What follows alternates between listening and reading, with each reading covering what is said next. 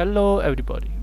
In this video we are going to learn about creating realistic terrains within minutes with use of Gaia. So Gaia is a very awesome asset. You can download it from unitygamedeveloper.com and we have two versions here. One is Gaia 1.5.3. This version is for older versions like uh, Unity 5.6 or 2017 and Gaia 1.9.2 is for list latest variants like 2019 or 18 etc so after downloading this version we have to import this version inside uh, Unity. So I already have imported it inside Unity and then we will found a tab here in Windows and Procedural Worlds and Gaia. So when you uh, install this uh, first time if you click here show Gaia manager you will not found this window. You will found an installation tab which from which uh, where you can install some dependencies. So post processing stack and some other dependencies we have to install first. And then after everything uh, installed we are ready to create our terrains. So now uh, we will click on window and procedural bar Gaia and Gaia manager. And here on manager we have some several things. We have flying camera first person and third person we can choose from he here. So it will initiate instantiate our scene with first person third person or camera after that we have environment desktop ultralight mobile etc you you can select that. We have selected desktop. Then we have a renderer which is built-in option is fine. Terrain size we have different sizes here and we can select our desired size. For our racing scene we will select this 512 meters square uh, certainly. But for now for learning this Gaia we are selecting this standard to 2 kilometer terrain. So after that we have some of these options terrain default terrain resources and game uh, object resources. So default folders are fine so we don't need to change these things. After that we have a standard tab and we have uh, create terrain and spanner enhance terrain create spawners and create player and bake lighting options. We can create our system our terrain by clicking stepwise on these options. We have advanced tab as well. So advanced tab and standard tab are actually the same. In advanced tab we can uh, do the same things which we can do in standard tab but in advanced tab we have some more options here. Okay separate options.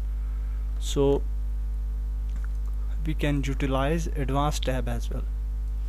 So for our process we will just uh, go with standard tab.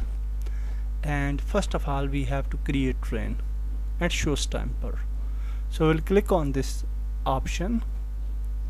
And now one terrain will appear with 2048 meters square so this is our terrain and now we will add stamper on our terrain.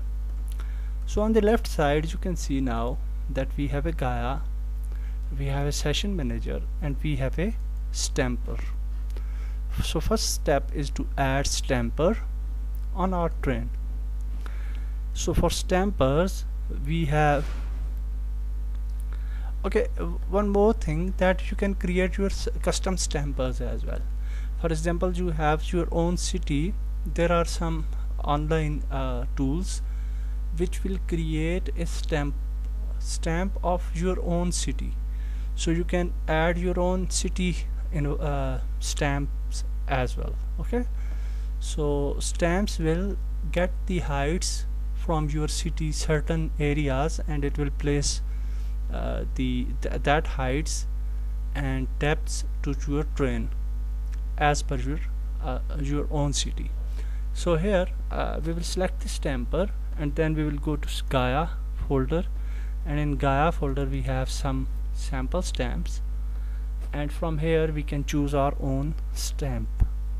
So for example we can select islands or um, there are a lot of stamps here. So let's uh, for example add this one. So we will select the stamps and then we we can drag drop any stamp here okay?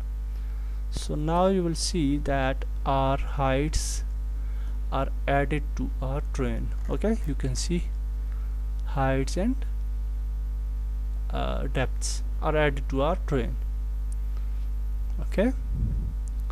So now we want to add this stamp. This this is only the preview. So for adding this stamp we will click on this stamp option here. So let's click on this and now our terrain is ready. Okay. So that's great. Now you can see that our terrain is ready. Now we can add some textures on our environment. We can create some spawners we can create some textures as well. So for adding the textures we can click on create spawners. So we'll clear click on create spawners and now here you can see that we have some other options as well okay here okay? So first of all we have a texture spawner. So we can add texture. So we will select this option here and you can see lot of sub options here. Seed there is a range there is a shape and execution uh, mode etc also we have certain uh, terrain textures resource type here and we have certain sub options as well which we can manipulate okay from here frequency strength etc zoom etc usually I have found that the default informations are quite fine and we can go with the default options. So after selecting the texture tab we can click on this spawn option. So we'll spawn the texture on our terrain. So it will add the nice texture to our terrain and all the process is automatic. We didn't have to select any type of nice textures or anything. Everything is automatic. So now hopefully we will get nice texture. And texturing is a very important aspect uh, for large terrain creations. And here you can see that we have found nice textures here. And if we zoom in you can see nice details of these textures. Okay? For enhancing these textures you can use some other uh, assets as well uh, as well like CTS so CTS is very nice terrain shader. So if you use CTS it will give you a more detailed and realistic textures.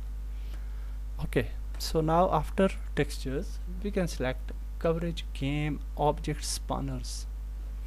So here you will find lot of game objects which are built in with Gaia okay? So we can add these objects to our environment. So if you see rock pile you can see maximum instances uh, this much and after that every uh, tab has its own option and we can manipulate these options as well. Small form maximum instances and other things as well. So we'll go with the default. We definitely we will uh, manipulate these informations later on when we build our own terrain uh, and our own levels. But for time we will leave these all information and we will click on spawn. And it, it will spawn game objects on our terrain also it will spawn the game objects on uh, on the required areas okay? For example if it spawns some houses you will see that that houses will be spawned at plane positions okay? Here you can see that this house this nice house is placed here on this area. And here this area is totally blank there is no house here okay?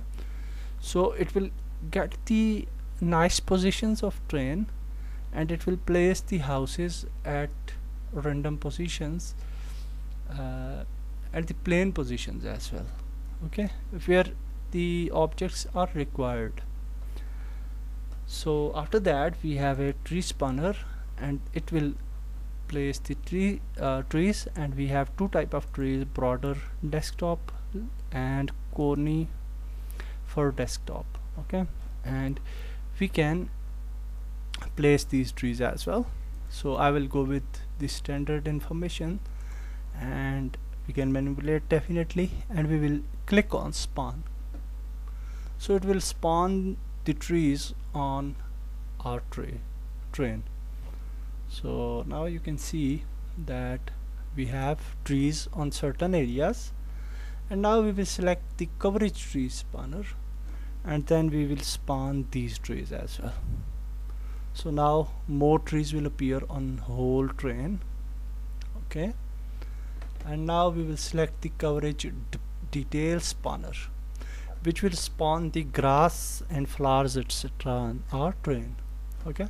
So select this and definitely we can manipulate each of options here okay so I will not uh, go in details and I will not change the informations inside every step. So let's select this and then we can spawn these objects.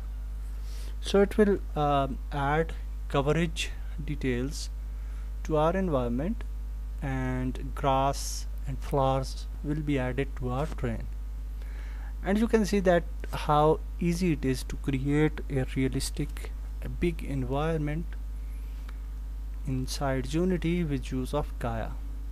Also the nice feature of Gaia uh, the latest version of Gaia is that it will post process our scene automatically. Also it will create sky for us for our environment. So let's wait for this processing and then we will go to next steps okay so now we have created our uh, added our grass etc and now if we zoom in you can see nice grass on our terrain as well. Okay? Okay? So nice uh, grass on our terrain surface. So that's nice. Next step is to click on this option which is create player post effects screenshotter and sky and water. So when we click on this option we have to click on yes and it will create everything for us player camera and uh, also it will post process our scene which is very nice aspect of the latest version of uh, Gaia okay so it will take some time and not too much time. You can see that it's done now. And everything is added. You can see nice sky. It's uh, already uh, also it's uh, post process. And you can see nice fog here on the terrain. And nice shade you can see. Okay so after that we have bake lighting option and uh, you can do this as well but I will just leave it for time uh, because it will take some more time. So that's it. We have created our nice environment with use of Gaia and we can definitely manipulate each and every information by using the terrain standard tools. We can manipulate the terrain we can change the textures we can uh, uh, add the heights and other things as well okay? So let's play the scene and we will found and we will see that how our terrain will look like. So let's play the scene. And here in you you can see the UI you uh, if we press U we can uh, toggle user interface.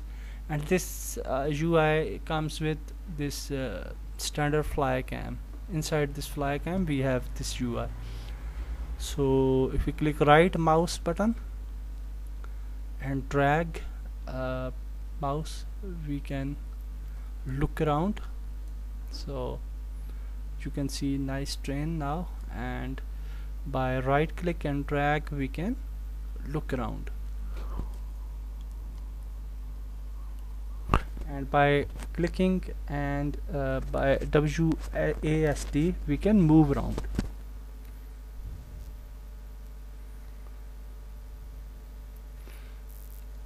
So it's a quite big terrain.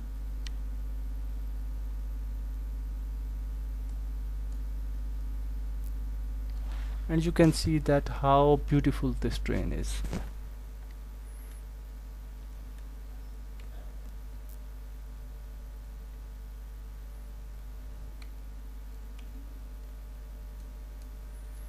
okay so you can see nice uh, houses and uh, other stuff as well and nice grass and everything is nice looking. Also the post processing is done so uh, we got a clean clear result.